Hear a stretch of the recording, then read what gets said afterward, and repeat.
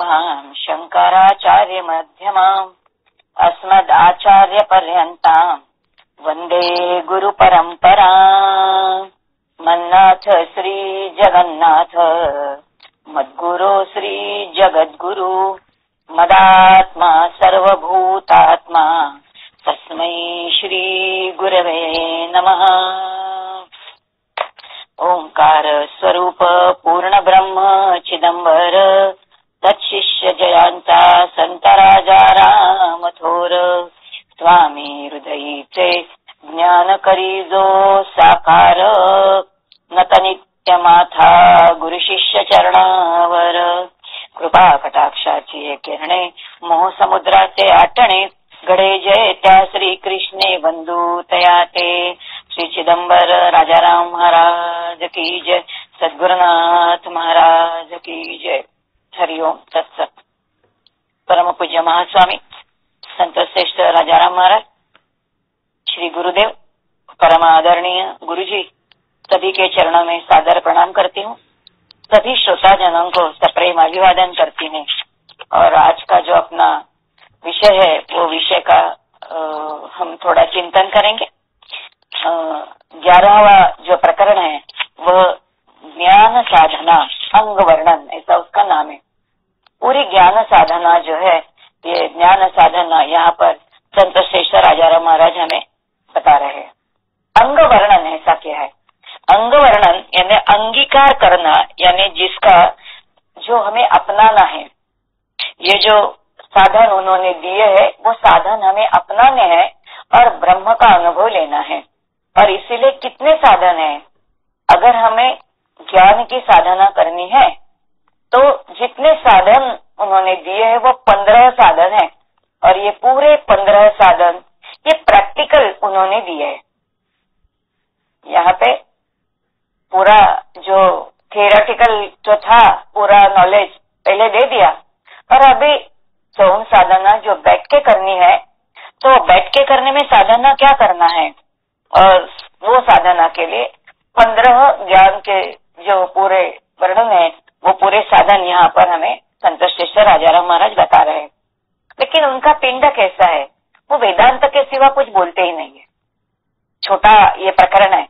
आज एक घंटे में ही उसका पूरा चिंतन हमारा काफ़ी होगा। लेकिन इसमें जो शुरुआत की है, जो प्रारंभ किया है, वो प्रारंभ ही वो कहाँ से करते हैं? तो वो कहते कि षड विकार है हर जीव को। और ये षड विकार हमें जानने चाहिए, कौन से विकार है? हम कई बार यह इसका चिंतन कर चुके हैं। जो स्थूल विकार है, काम और क्रोध आदि जो विकार है, ये स्थूल है। लेकिन सूक्ष्म विकार हर जीव को है, जिसे हमने कई बार देखा है, अस्थि, जायते, वर्धते, विपरिणामते, क्षीयते, म्रियते। ये जो छह विकार है, ये षड विकार, अस्थि, जायते, वर्धते, विपरिणामते अपक्षीयते, विनश्यते। ये छह जो है, ये छह इस ग्रंथ में इन छह जो है, ये छह विकारों का वर्णन किया है। अभी इसका वर्णन भी हमने कई बार देखा। अस्थि यानी जन्म के पहले ही हमारा अस्तित्व है। जैसे, जब भी हमारा जन्म हुआ, खुद का, हम सभी जन है कि कभी न कभी तो हम अपने माता के उदर में से हम बाहर आए, जन्म हुआ। लेकिन इस जायते जायते यानी जन्म लेना, उसके पहले हमारा अस्तित्व था अस्थि। अस्थि यानी अस्तित्व था, लेकिन वो प्रकट नहीं था, गुप्त था। वो कहा था? वो माता के गर्भ में था। उसके पहले वासना स्वरूप, वायु स्वरूप, लिंग रेह रूपी पूरे वातावरण में कहा था पता नहीं। लेकिन अस्तित्व था। ये जो समझता नहीं है, लेकिन है अस्तित्व जिसे वो कहते हैं नवे, जो था ही नहीं, दिखता नहीं है, लेकिन है। ऐसा जो जीव का अस्तित्व है, उसे अस्थि कहा गया है। बाद में का जो विकार है, वह जायते। जायते यानी जन्म लेना, जिसे संत श्रेष्ठ राजाराम महाराज कहते नवे तेज आले वैसे तो ये विश्व ही नहीं हुआ है तो हम भी तो नहीं हुए। लेकिन जो नहीं है उसी ने क्या किया है? तो एक आकार, साकारता क्या की है? अपना ली है। जो निराकार हम सारे हैं, लेकिन वो निराकारता हमने छोड़ी है और अपने ही सूक्ष्म वासना से हम सभी ने एक आकार धारक, धारण कर लिया है। और इसके लिए वे कहते हैं, नवे तेची आले इसे कहा है, जायते। फिर बाद में कहा है, विवर्धते। विवर्धते नहीं यानी बढ़ना। कैसा बढ़ता है? संत श्रेष्ठ राजा राम महाराज कहते हैं कि माता के उदर में एक जीव है और ये नौ मास में ये पूरा उसका जो शरीर है वह शरीर धारण कर लेता है। पहले मंथ में क्या है, दूसरे महीने में क्या है, तीसरे महीने में क्या है? इस तरह का पूरा नौ मास में एक पूरा शरीर जो है, वो क्या होता है, विवर्धते, यानी पूरी उसकी वह जो है, वो पूरा शरीर तैयार होता है और शरीर का पूर्ण ऐसा जो देह तैयार हुआ। अभी देह तो पूर्ण तैयार हुआ, लेकिन देह है कैसा? तो देह तो देखा जाए तो यह देश नाशीवंत है। उसमें पे कहते हैं, जो विवर्धते हो रहे वो कैसा है? तो विवर्धते होने वाला, वो कहा जा रहा है? तो वो अंतिम स्थिति के लिए जा रहा है, लेकिन ये वर्धते यानी विवर्धते। यानी देह की पूर्ण स्थिति जो है, वो पूर्ण स्थिति, उसका विकास होना तीसरा विकार का है। चौथा विकार जो है तो विपरिणमते यानी जैसे हम जन्म लिया, छोटे बच्चे, बालक होते हैं, एकदम छोटा बच्चा, फिर बाद में शिशु है, फिर हल्लू हल्लू वो बढ़ जाता है, फिर बालक होता है, फिर युवा होता है। अभी जो शिशु है, वो शिशु अभी युवा होना, यानी शिशु का ही बदल युवा में होना युवा का ही बदल गृहस्थाश्रम में होना ये जो बदल शरीर में होते हैं, या तो आश्रम में होते हैं, इसे संत श्रेष्ठ राजा राम महाराज कहते हैं विपरिणामते हर जीव में यह बदल होते हैं। फिर यही जीव और आगे आगे बढ़ता है, उसका शरीर वैसे ही पहले बहुत ऊँचा रहता है, लेकिन बाद में अभी उसकी जो ताकत है, कम होने लगती है। अभी अपक्षीयते यानी अभी वो क्षीण होने लगता है। और इसीलिए इसी शरीर को, इसी देह को अभी वृद्धत्व आता है। जो वृद्धत्व आना, उसे वे अपक्षीयते कहते हैं, और विनश्यते, यानी मृत्यु। ये सारे जीव के जो छह विकार है, ये सारे के सारे एक ही जीव को कैसे है? यानी जन्म के पहले का अस्तित्व जन्मना बढ़ना युवा स्थिति आना, जरा होना, फिर बाद में मृत्यु होना। ये सारे के सारे कैसे है? तो एक ही मानवीय देह में है। अभी ये देह जब मानव देह हमें तुम्हें मिला, लेकिन उसके पहले तो हमारे कितने देह हुए, ये तो हमें पता नहीं है। यहाँ पर संत श्रेष्ठ राजा राम महाराज कहते हैं कि कितने हैं? चौरासी लक्ष्य योनि है ये पूरे घूम के घूम के घूम के हम कहा आए हैं? तो इस नश्वर जो है, ये नश्वर देह में आए हैं। जो देह की हम बहुत क्या करते हैं तो उसे बहुत सजाते हैं, उसे बहुत सारा सुख देने की कोशिश करते हैं। लेकिन ये देह जो है, जिसे हम सजाते हैं, उसका ये कभी विचार तानिक नहीं करते कि ये किससे बनाया हूँ, बना हुआ है। रजस्वलेचा जो विटाळ संत कहते रजस्वलेचा जो विटाळ आळवणी झाला गाढ़ ये जो देह है, नौ मास का, ये विटाल जो है, पूरा अशुद्ध जो है, जो सारा, जो खून है, वो अशुद्ध खून, जो शरीर के बाहर फेंकने के योग्य है, इतने अशुद्ध से ही इस देह की उत्पत्ति हुए है। अगर उत्पत्ति इतनी बुरी चीज़ की है तो हमारे ज़िंदगी में हमें बुरी चीज़ें मिलेंगी या अच्छी चीज़ें मिलेंगी। दोनों मिलने वाली है, क्योंकि पाप पुण्य समता गड़े करित नर देह जोड़े, यह भी संत वचन है।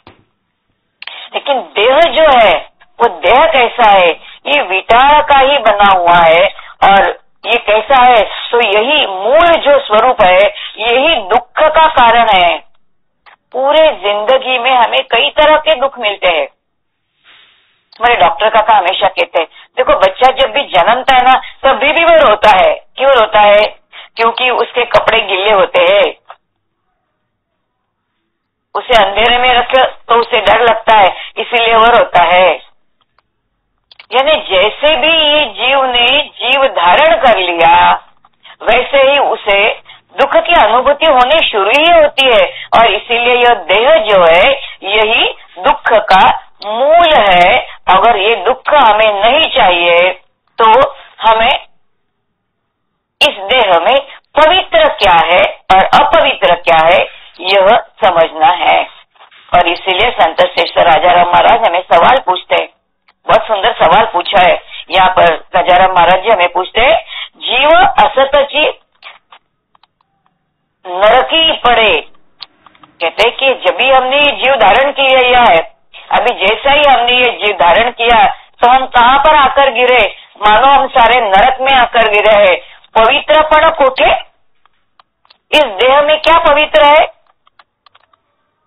अपनी जो सिर ऊपर की जो त्वचा है ना, त्वक, इंद्रिय, शंकराचार्य कहते हैं, सिर्फ़ विचार से यह त्वचा जो है ना, वो निकाल दो। सिर्फ़ निकाल दो, विचार से। ऐसा नहीं कि हमें चाकू लेने बैठना है और अपना शरीर पूरा छीलना है। वो छीलने की ज़रूरत नहीं है। सिर्फ़ एक क्षण हम विचार भी करेंगे कि अगर ये ऊपर का जो त्वक इंद्रिय नहीं होता तो हमारे शरीर में अंदर क्या है? उसमें मांस है, रक्त है, इतना गीलापन है, इतनी गंदगी वहाँ पर है। ये जिसे हम बहुत सारा, हम कहते कि मुख कितना सुंदर है, लेकिन संत पूछते कहते हैं हमें, देखो हमारे नाक में क्या आता है मुँह में से कितनी गंदगी बाहर आती है? कान में से क्या क्या बाहर आता है? क्या पवित्र है?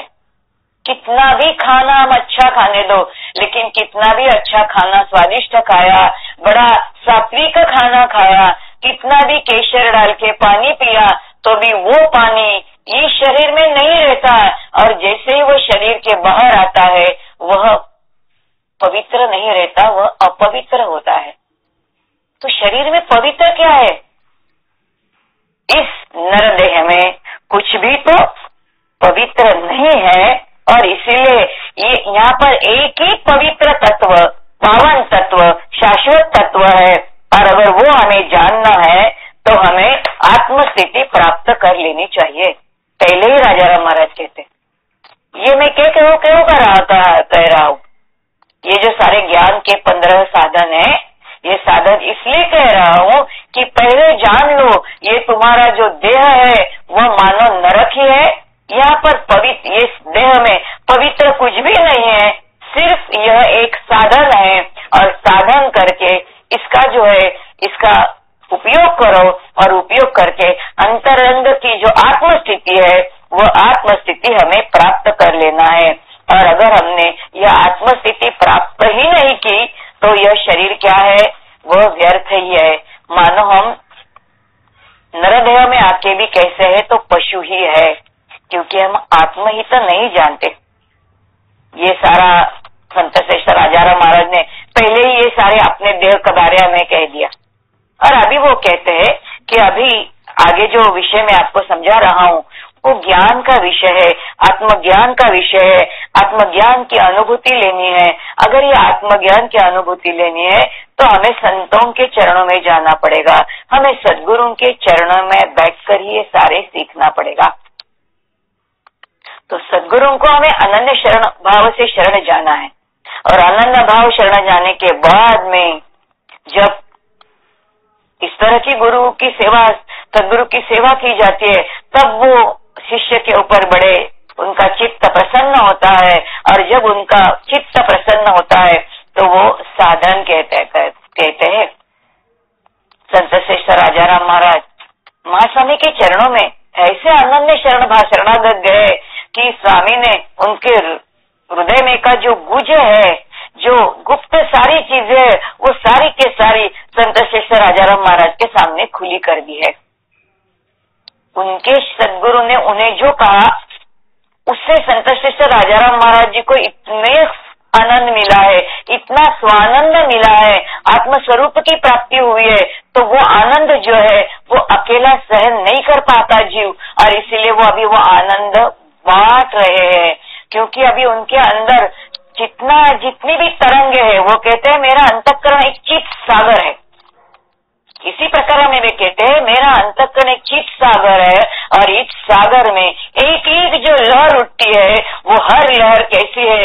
वो चिदानंद की लहर है और ये आनंद, स्वानंद, ये दूसरों को दिए बिना मैं नहीं नहीं रह सकता।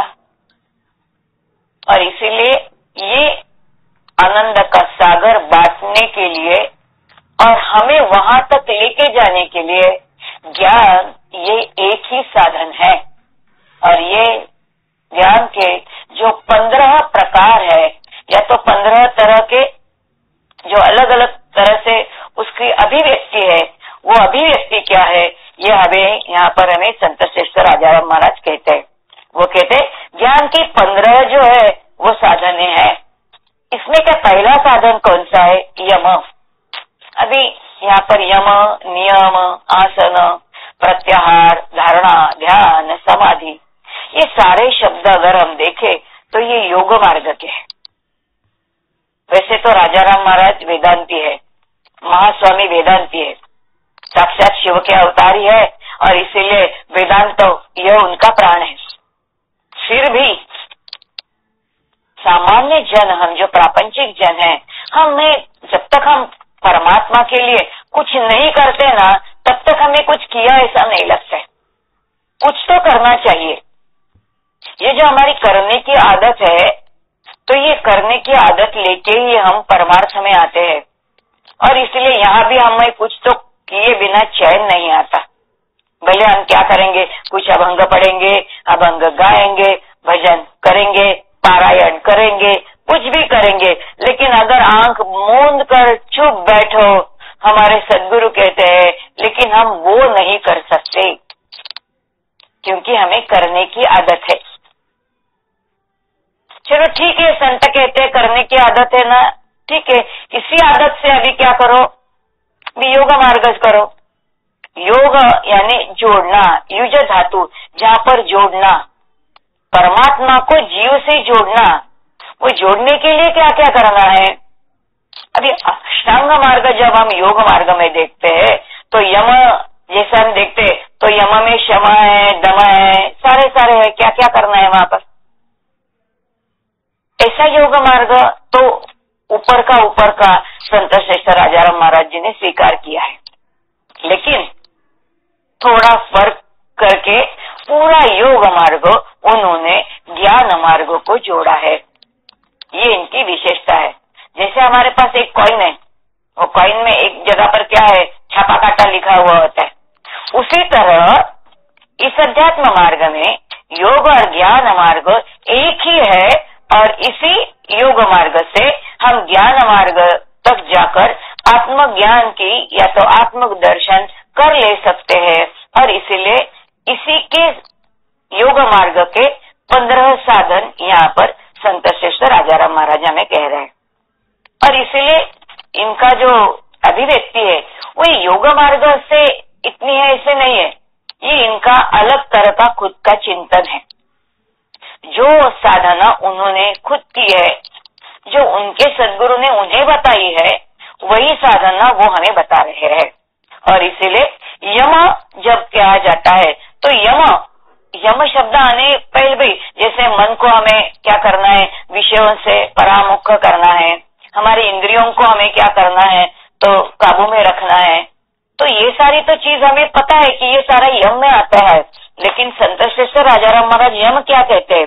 ये कहते हैं, सर्व इंद्रिय, जितनी भी हमारी इंद्रिय है, वो कहते हैं सर्व इंद्रिय, ज्ञानेन्द्रिय ब्रह्म दिशते। सर्व ज्ञानेन्द्रिय इंद्रिय, ज्ञानेन्द्रिय ब्रह्म दिशते। क्षणोक्षणी साधन अर्थात अभी कौन सा साधन दिया है? अभी यम, ये यम कौन सा है? और योग मार्ग का यम कौन सा है? अभी ये प्रैक्टिकल वो कहते हैं। यहाँ पर वो कहते हैं कि सारे इंद्रिय, यानी कि ज्ञानेन्द्रिय जिसे हम सेंसिटिव ऑर्गन्स करते हैं, शब्द, स्पर्श, रूप और रसगंध ये हमारी सारी पंच ज्ञानेन्द्रिय है। ये सारे इंद्रिय सिर्फ़ एक ही तत्व का दर्शन ले। कुछ भी आँखों से देखे तो ब्रह्म ही देखे। कुछ ग्रहण करे तो भी ब्रह्म रस ग्रहण किया, इस विचार से ग्रहण करे।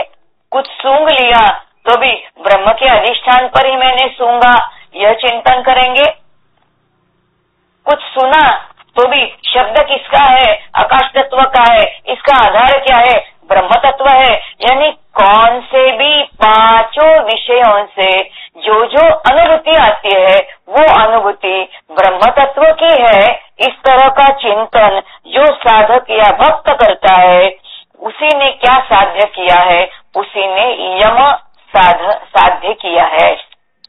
अभी पहले ही फ़र्स्ट स्टेप कितनी, फ़र्स्ट स्टेप पर कह रहा है यम।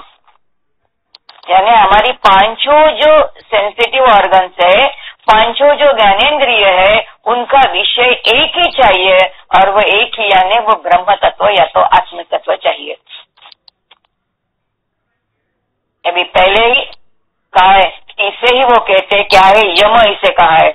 फिर बाद में कहा है नियम। अभी नियम में भी पाँच है। ये नियम को उन्होंने और एक शब्द बहुत सुंदर दिया है, जो संतों ने जिसका काफ़ी क्या किया है तो उपयोग किया है। संत हमेशा कहते हैं कि जितना भी तुम्हें कुछ साधन करना है, अगर भगवान को साधा तुम्हें वंदन करना है, लेकिन वो वंदन भी एक ही वक्त, उसी वक्त, अगर रोज के रोज, एक ही जगह, एक ही समय, अगर हम करें तो वह तप है। दिन में चौबीस घंटे है तो आज सुबह, कल दोपहर को, फिर शाम को, फिर रात को। इसे नियम नहीं कहते। नियम, यानी कुछ डिसिप्लिन हमें खुद को लगा लेनी है और इस अर्थ से नियम नियम, यानी साधन में सातत्य रहना कंटिन्यूटी रहना। तो साधन की कंटिन्यूटी साधन का सातत्य इसे संत श्रेष्ठ राजा राम महाराज कहते हैं?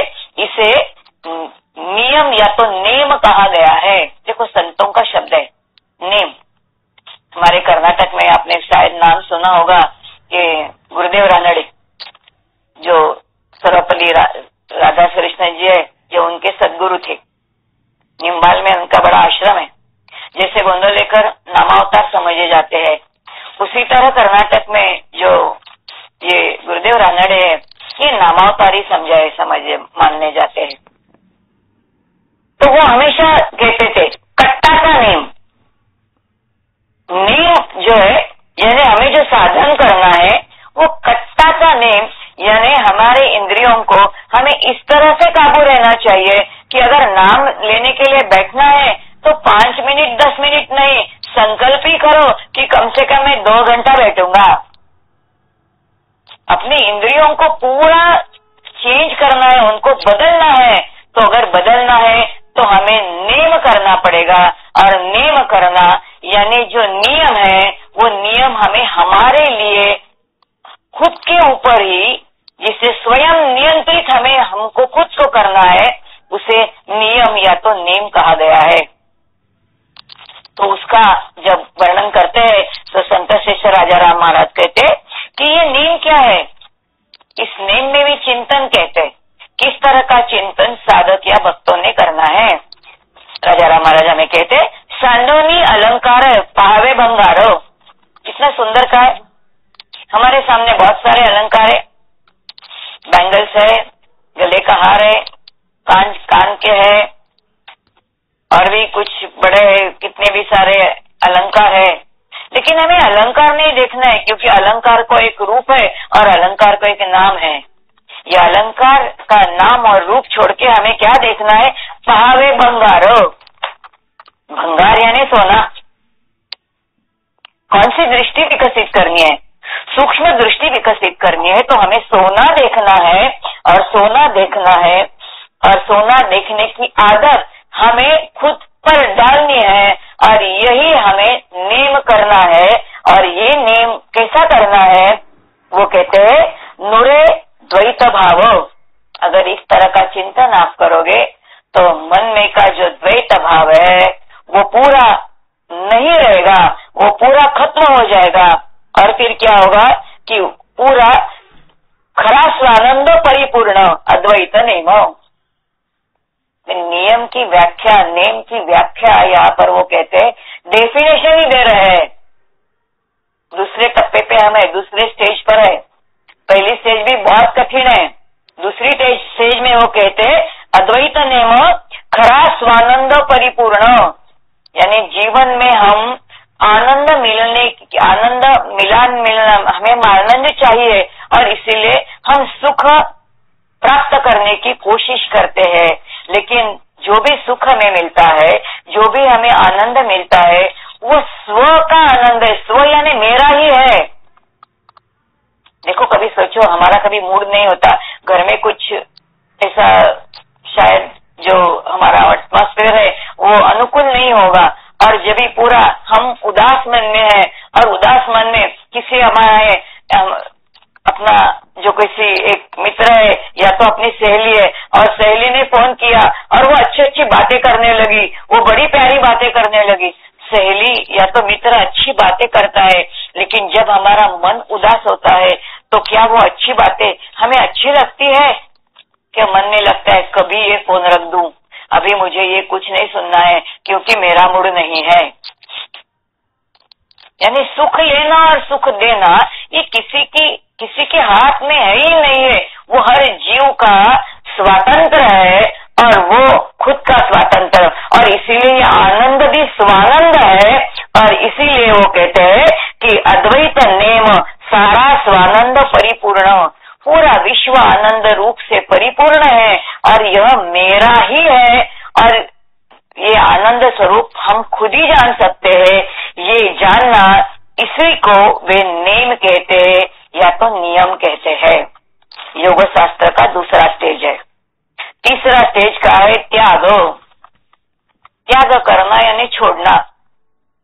वैराग्य में हमने देखा क्या छोड़ना है। अभी यहाँ पर क्या कहा है? जड़ स्वरूपाचा त्याग। कह दिया। वो डेफिनेशन ही कहते जो जो जड़ है, जड़ यानी जो जो साकार है, जो साकार है, जड़ यानी जो पाँच भौतिक है। जो पंचमहाभूतों से बनी हुई सारी चीज़ें, वो घर होने दो, या तो और कुछ भी होने दो, या तो मॉल होने दो, या कुछ मोबाइल होने दो, या अपनी गद्दी होने दो, या अपना टेबल होने दो, ये सारी पंचभौतिक चीज़ें जो है, ये जड़ स्वरूपाचा त्याग जो जो आकार हमारे सामने आता है, उसे एक नाम होता है। ये पंचमहाभूतों का जो है, वो त्याग करना है। और अगर इसका विचार से त्याग करो तो उसका परिणाम क्या है? उस परिणाम में वो कहते हैं, त्यागे मोक्ष रोकड़ा नाम और रूप का अगर त्याग करोगे तो उसके पीछे सच्चिदानंद ये जो सूक्ष्म प्रेरणा है, या तो अस्थि भाती प्रिय, यह प्रेरणा है, यह ईश कृपे से जीव को समझ ही जाएगी, और जैसे ही वह समझ जाएगी तो वो जीव को जो मोक्ष प्राप्त होने वाला है, जो निर्विषय आनंद की प्राप्ति है वह कैसे है, वो रोकड़ी रोकड़ी यानी कैश है। उदाहरण नहीं है वहाँ पर कुछ। इस ज़िंदगी में उधार कुछ नहीं है। यहाँ पर जो भी कुछ है, वो कैसा है, वो पूरा कैश रोकड़ा ही है। और ऐसा रोकड़ा जो है, मोक्ष जो है, वो संता में देते हैं। और इसीलिए त्याग करना जड़ स्वरूप का त्याग, यही तीसरा क्या है, वो ज्ञान का साधन कहा गया है। चौथा जो है तो मौन। मौन के बारे में भी हमने देखा है। हमें ऐसा लगता है मौन यानी सिर्फ़ ना बोलना। वो तो है ही। लेकिन इस प्रकरण में कहा है सौवाचेसी मौन। यानी सिर्फ़ वैखरी को मौन नहीं है। वैखरी मध्यमा, पश्यंती और परा, चारों की चारों वाणी स्थूल से सूक्ष्म सूक्ष्म सूक्ष्मतर होने वाली चारों वाणिया जो है, ये पूरी शांत होना, परावाणी में एक भी संकल्प ही नहीं उठना।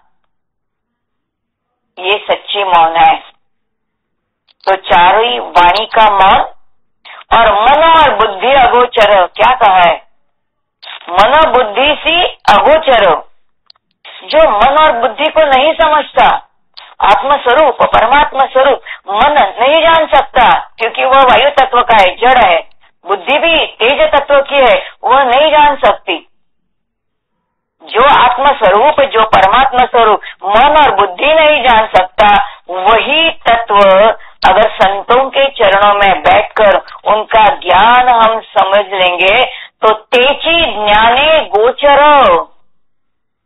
वही तत्व उन्होंने कहा हुआ जो ज्ञान, जो उनके अनुभूति का ज्ञान है, जो उनकी परोक्ष, अपरोक्षानुभूति है, वो अपरोक्षानुभूति का ज्ञान से जो नहीं गोचर होने वाला है, वही अभी गोचर होता है।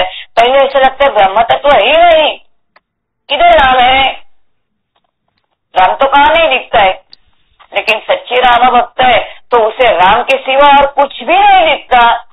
सच्ची चिदम्बर भक्त है तो उसे चिदम्बर स्वामी के सिवा और कुछ भी नहीं दिखता। किसी भी मंदिर में जाने दो। किसको वंदन करोगे? उसी तत्व को वंदन करोगे। यानी एक इस तरह की अवस्था आ जाती है कि जिस अवस्था में जो निराकार तत्व है, वह भी गोचर होता है, लेकिन कब होता है? जब सच्ची मांग होता है। और इसीलिए मौन यानी पहले चारों वाणिया जो है, ये पूरी की पूरी शांत होना वो चौथा साधन कहा गया है। पांचवा साधन कहा गया है, देश परिच्छिन्न। देश, खाली उन्होंने देश कहा है। जैसा कैसा है देश पर तुम और हम कैसे है? हम देश परिच्छिन्न है।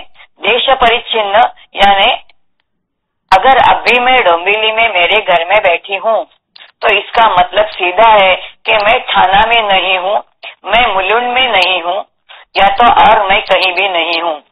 क्योंकि मेरा शरीर इतना शांत, इतना छोटा है कि वो एक ही जगह पर रह सकता है, यानी देश परिच्छिन्न। जैसा देश, यानी वो लिमिटेड हो गया, मर्यादित हो गया। उस तरह, लेकिन आत्म तत्व या तो ब्रह्म तत्व ऐसा नहीं है, परमात्मा तत्व ऐसा नहीं है। वो तो व्यापक है, क्योंकि उसे साकारता ही नहीं है। जो निराकारता है, वो वहाँ पर व्यापकता है, और जो व्यापकता है तो वो कैसा है? वो सभी जगह पे है, और इसीलिए वो देश से परिच्छिन्न नहीं। परिच्छिन्न यानी टुकड़े टुकड़े नहीं है।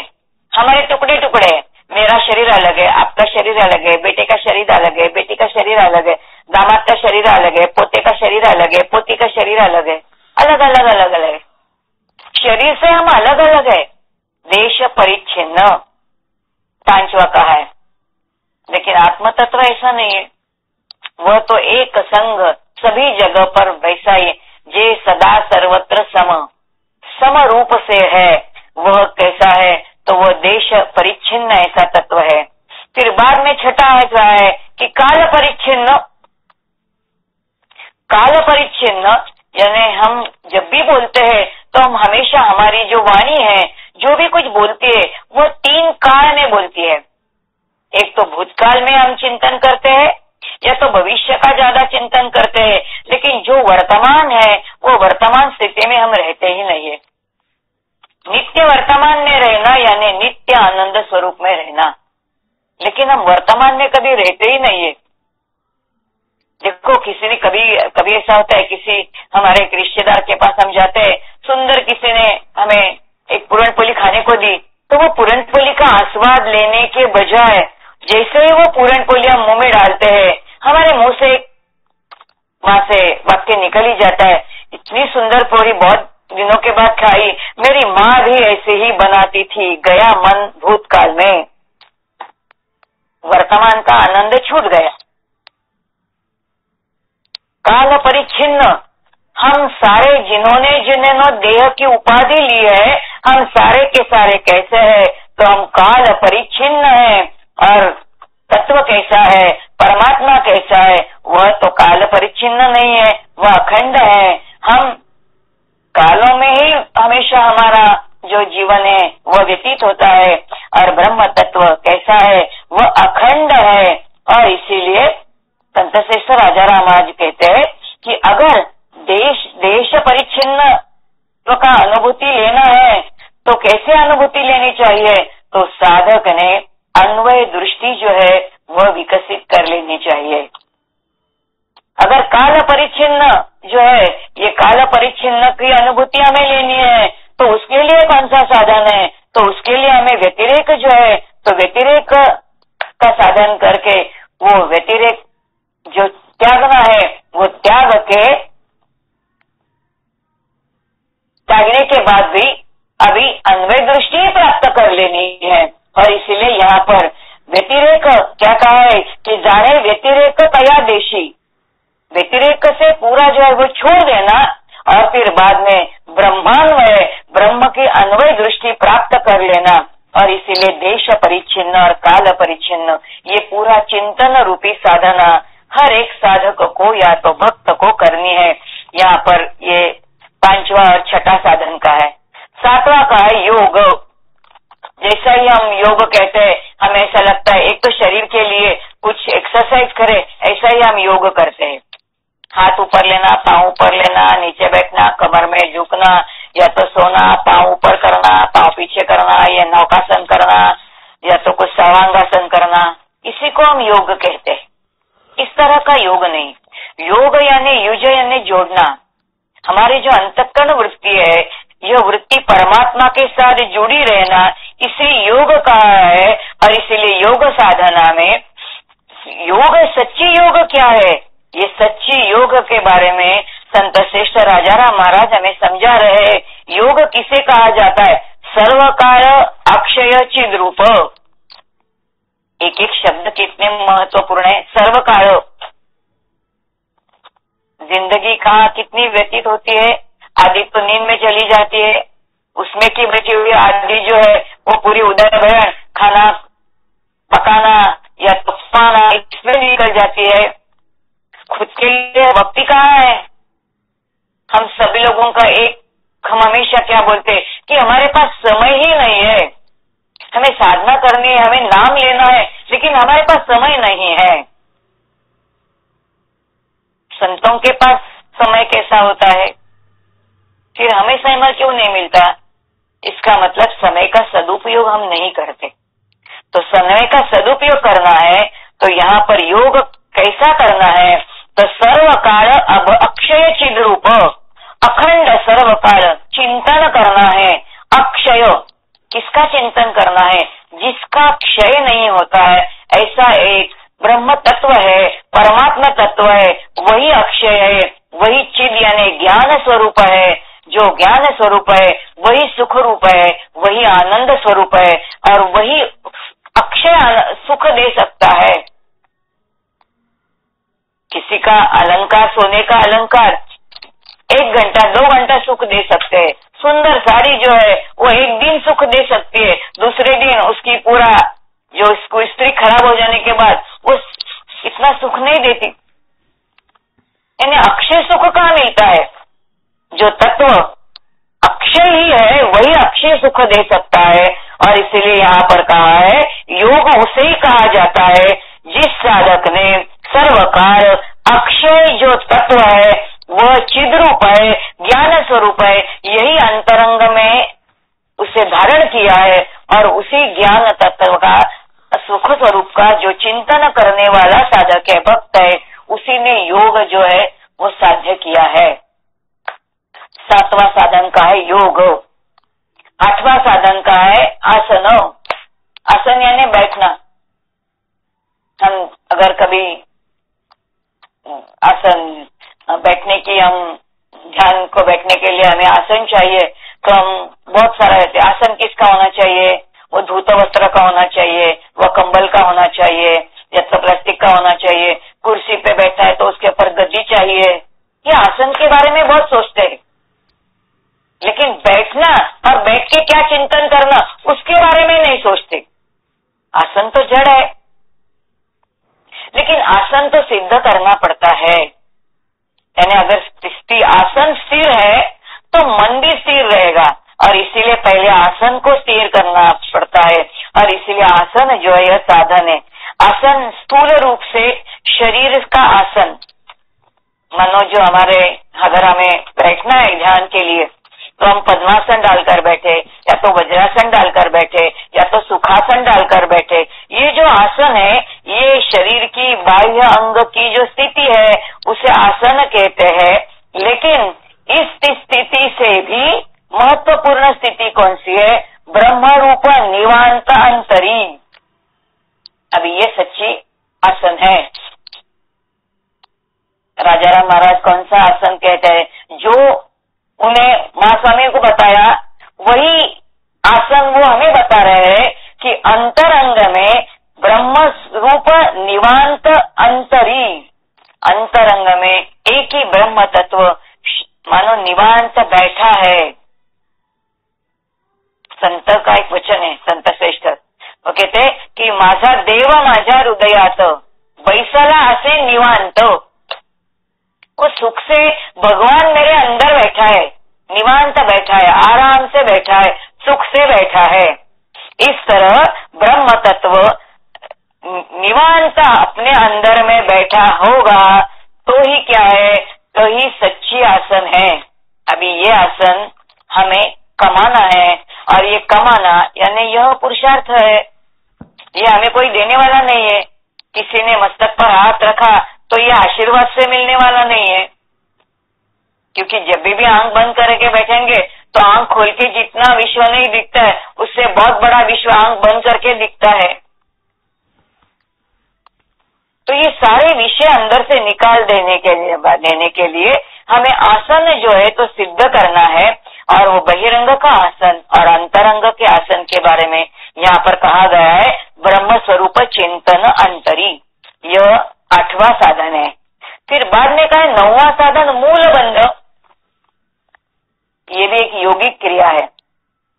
शरीर के कमर के ऊपर के जो भाग के जाए तो उसे क्या कहा जाता है? वो उसे सारे मुद्राएँ कही जाती है। और कमर के नीचे का जो भाग है, उसे सारे आसन कहा जाता है। मूल बंध मूल बंध जब भी हम कभी योगासना का क्लास गए या योगासना का जो क्लास गया तो योग मार्ग का कुछ पढ़ाई किया होगा। छोटे छोटे कोर्सेस हम करते हैं कि चलो मनुष्य को शांति के लिए ऐसे हम करते हैं। तो वहाँ पर कुछ क्रियाएँ पढ़ाते हैं, या तो सिखाते इसमें की पहली क्रिया मूल बंध मूल बंध यानी पूरा अपना श्वास जो है तो अपना श्वास पूरा पकड़ के रखना, कुंभक करना। और इस तरह का कुंभक करना अपनी नाभि जो है, नाभि खींच के खींच के खींच के इतने अंदर लेके जाने कि जहाँ पर अपना स्पाइनल कॉर्ड है, वो स्पाइनल कॉर्ड तक अपनी नाभि अंदर लेके जाना, यानी पूरा वायु जो है, वो शरीर के बाहर फेंकना। रेचक किया। रेचक के बाद में कुंभक पकड़ के रखना। ये मूल बंध है। मूल बंध यानी नाभि पीठ के, मानो पीठ तक पीछे लेके जाना। ये मूल बंध बाह्य क्रिया है। लेकिन ये मूल बंध से भी वेदांत का मूल बंध यानी विश्व का मूल तत्व कौन सा है, यह ब्रह्म तत्व है, और साधक ने, भक्त ने अपनी अपना जो अपनी अंतकरण वृत्ति है, यह वृत्ति वृत्ति से यह जो मूल तत्व, ब्रह्म तत्व है, यह बाँध कर रखना, यह वृत्ति उस तत्व से बांधना, यही मूल बंध है अब ये सच्चा मूल बंध है ये वेदांत का मूल बंधन है और इसलिए योग मार्ग कहता है अगर तुम्हें मूल बंद करना है तो कहा वृत्ति रहनी चाहिए? मूलाधार। गणेश का स्वरूप है तम मूलाधार स्थितो से नित्यम तू ही मेरा मूल आधार है। अगर तू ही मेरा मूल आधार है तो यही मूल आधार को पकड़ के रखना यही मूल बंध है। हमने क्या क्या बाँध के रखा है मन में? सारे विषय बाँध के रखे हैं। प्रपंच बाँध के रखा है, हमारा संसार बाँध के रखा है। कई चीज़ें जो हमें नहीं चाहिए, वो बाँध के रखी है, लेकिन मूल तत्व को, गणेश तत्व को बांधा नहीं है। मूल बंध का है तो मूल बंध ये भी विचार रूपी साधना। वेदांत की कैसी है, यह संत श्रेष्ठ राजाराम महाराज हमें पता बता रहे बाद में कहा है कि साम्य साम्य सम्यक योग। साम्य, सम्यक योग, यह जो दसवां साधन है, यहाँ पर वो कहते हैं कि कार्य ब्रह्म जो है, वो कार्य ब्रह्म किस तरह का कार्य करता है?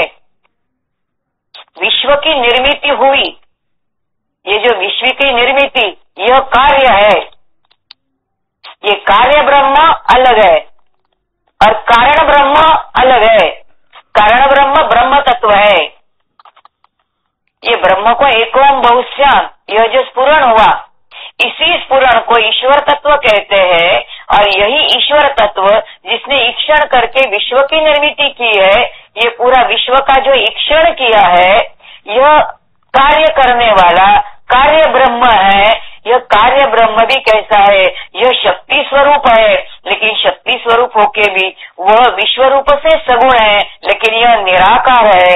यह कार्य ब्रह्म देखना, यानी ईश्वर तत्व मान्य करना, ईश्वर तत्व को देखना, ईश्वर का दर्शन नहीं लेना, लेकिन उस ईश्वर तत्व का कार्य कैसे चलता है, यह समझ लेना। यह ईश्वर उत्पत्ति करता है, वह स्थिति स्थिति का सम्मान सम्मान करता है यह लय भी करता है।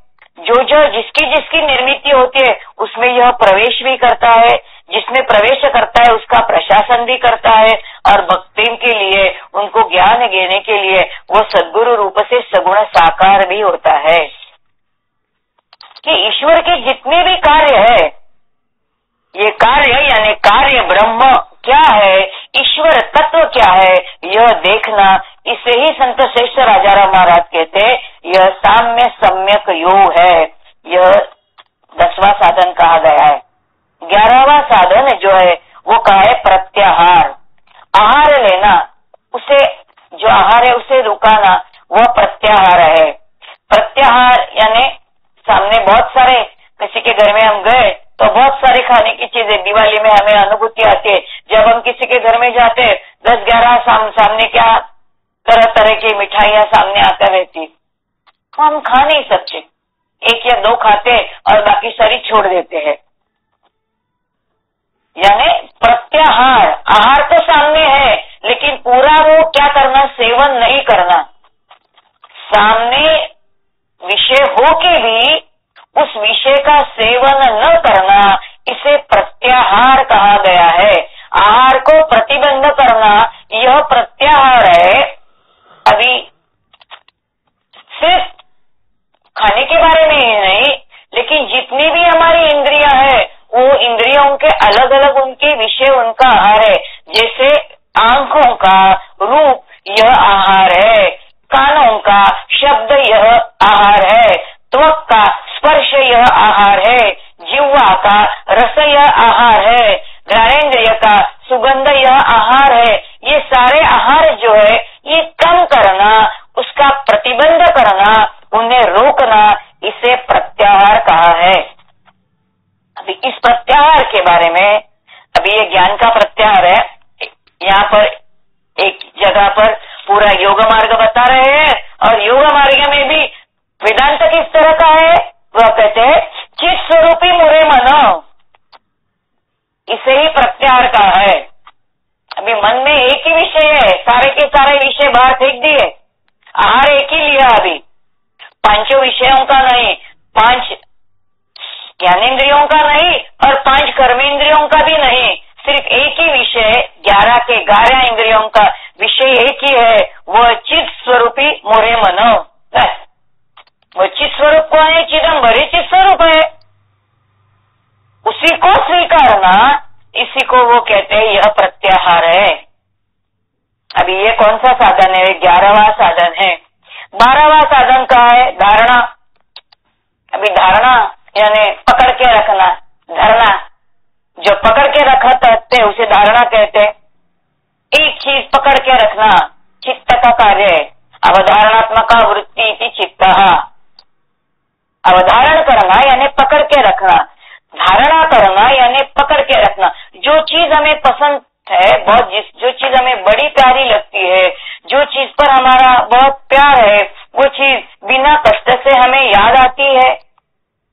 और बिना कष्ट से जिसकी याद आती है, उसे धारणा कहते हैं। क्या योग मार्ग कितना सुलभ हो गया? यहाँ पर जाटिल्य कुछ नहीं, काठिन्य कुछ नहीं है। संता में बड़े प्यार से सुलभ मार्ग से समझा रहे धारणा क्या है? धारणा यानी प्रयत्न के बिना जो हमें याद आता है, जो हमारे मन में जिसका स्पुरण है, जिसका स्मरण हमें नित्य है, वह क्या है? वह धारणा है। अभी यह धारणा यानी अंतकरण वृत्ति ने एक ही विषय पकड़ के रखना, परमात्मा पकड़ के रखना, सदगुरु गुरु तत्व पकड़ के रखना चिदम्बर तत्व पकड़ के रखना, यही क्या है? धारणा है। अब ये धारणा योग मार्ग की धारणा कही। वेदांत की धारणा क्या है? वेदांत की धारणा जब समझाते हैं, तब संत श्रेष्ठ राजा राम महाराज करते ब्रह्म स्पुरे जान धारणा। बस। अंतकरण में जो स्पुरण है, जैसे हम सुबह उठते हैं, पहला स्पुरण है चाह। दूसरा स्पुरण है बिस्किट। तीसरा स्पुरण है चाय के साथ पेपर। चौथा स्पुरण है क्या? नाश्ता. पांचवा स्पुरण है स्नान करना छठवा स्पुरण है जाके ये काम करना अखंड अंदर स्पुरण चालू ये है ये जो स्पुरण है इसके बदले में जहाँ पर ब्रह्म स्पुरे जानो तेची धारणा. धारणा किसे का है? जहाँ पर एक ही एक स्मरण है वो ब्रह्म तत्व का स्पुरण है या तो परमात्म तत्व का स्पुरण है या तो गुरु तत्व का स्पुरण है उसे ही धारणा कहा है। धारणा के सिवा और कुछ नहीं है।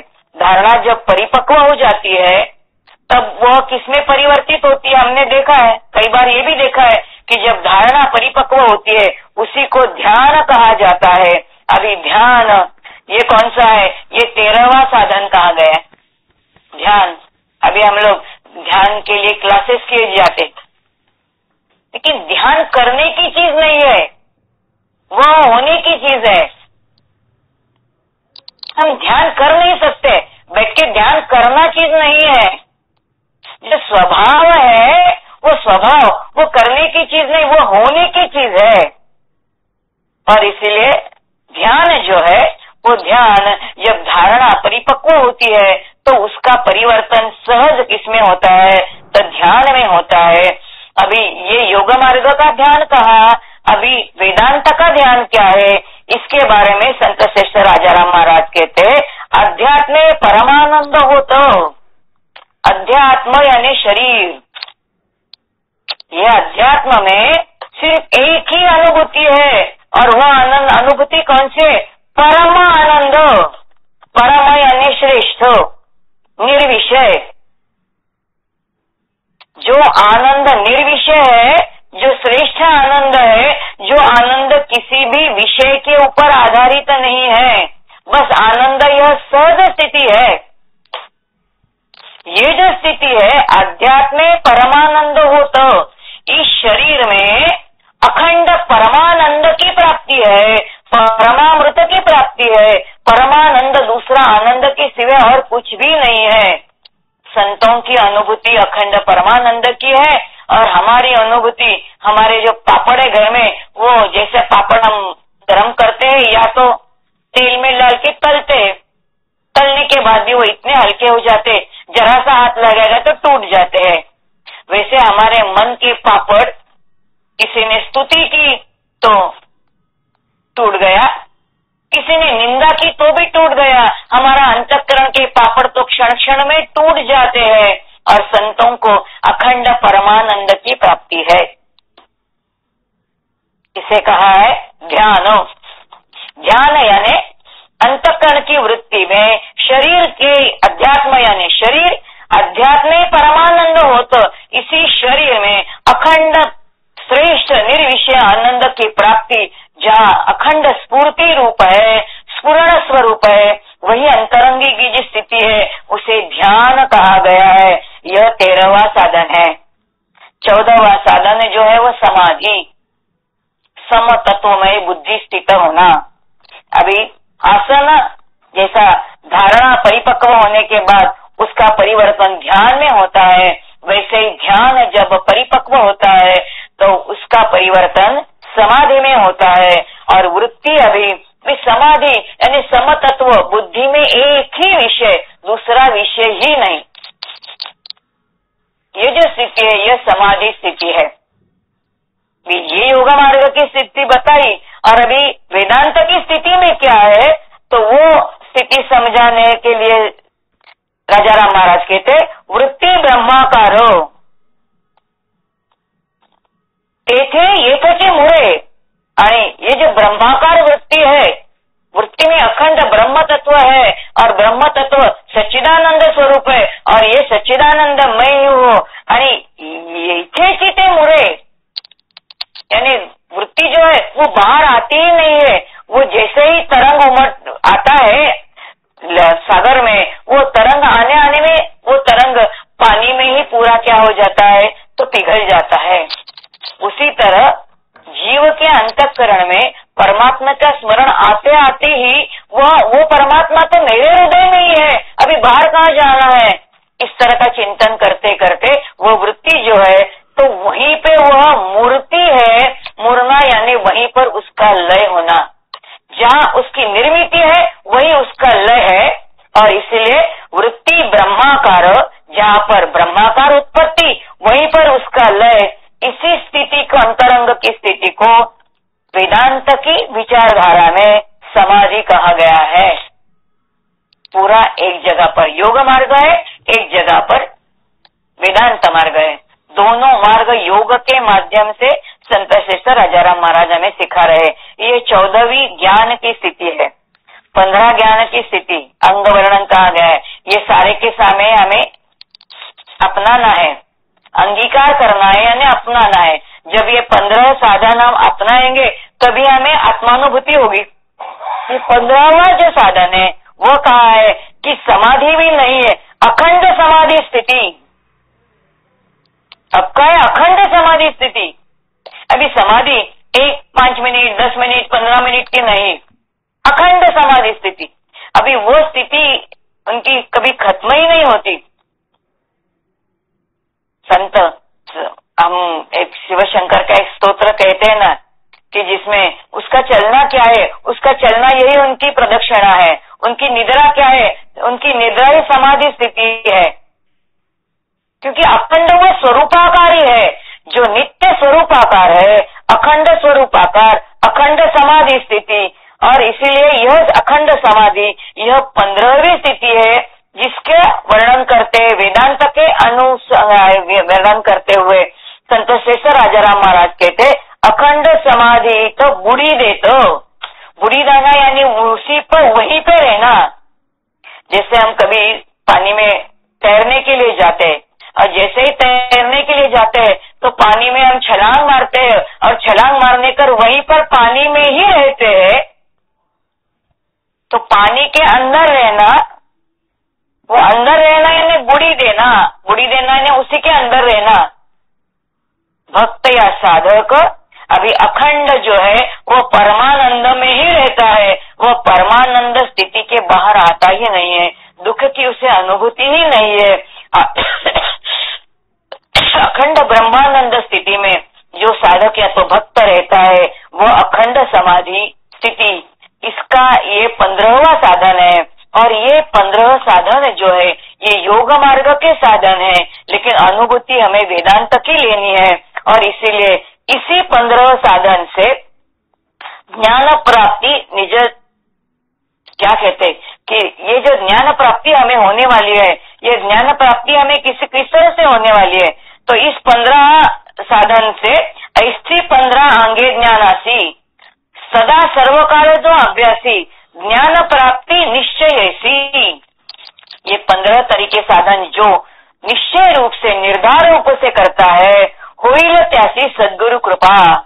उसी साधक को सदगुरु कृपा की प्राप्ति होती है और गुरु कृपा प्राप्ति से, गुरु के सब संकल्प से शिष्य को भी आत्मानुभूति जो है, वो आत्मानुभूति की अनुभूति होती है। और इसलिए अनुभूति, आत्मस्वरूप की अनुभूति आत्मानुभूति आत्मदर्शन या स्वरूप दर्शन के लिए ज्ञान के जो पंद्रह योग मार्ग के साधन है, ये योग मार्ग साधन और यही योग मार्ग वेदांत का चिंतन के रूप से भी साधन है। और ये ये पंद्रह और ये पंद्रह, ये तीस तरह के साधन सामने हमारे रखे हैं। और अगर ये साधन हम अपना ले तो हमें सदगुरु कृपा हो सकती है और गुरु कृपा से हमें आत्मानुभूति जो है तो आत्मानुभूति हो सकती है। इस तरह का विश्वास संत श्रेष्ठ राजाराम महाराज देकर ये प्रकरण जो है, ये प्रकरण की वो समाप्ति करते हैं। जो चिंतन हमने इसका किया, वो सारा चिंतन में भी महास्वामी, संत श्रेष्ठ राजाराम महाराज, श्री गुरुदेव और गुरुजी इन सभी के चरणों में समर्पित करती हूँ और अपने वाणी को विराम देती हूँ। संत श्रेष्ठ महास्वामी राजाराम महाराज की जय